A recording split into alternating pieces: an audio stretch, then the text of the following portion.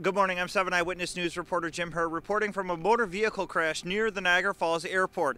Here's the information we know this morning. A man in his 80s crashed into a semi trailer on Niagara Falls Boulevard near Cayuga Extension. The man and his car became lodged under the trailer. The man needed to be freed from his car by firefighters from the Bergholz Fire Company. After being stabilized by Tri Community paramedics, the man was airlifted to Erie County Medical Center by Mercy Flight. I'm told the man is suffering from some injuries to his face, but the way the car hit the trailer, other injuries aren't being ruled out at this point. The Niagara County Sheriff's Accident Investigation Unit will be here throughout the morning trying to figure out what caused the crash. We'll bring you the latest information on this crash as it becomes available on 7 Eyewitness News at 5 and 6 this morning. Reporting in Niagara County, Jim Herr, 7 Eyewitness News.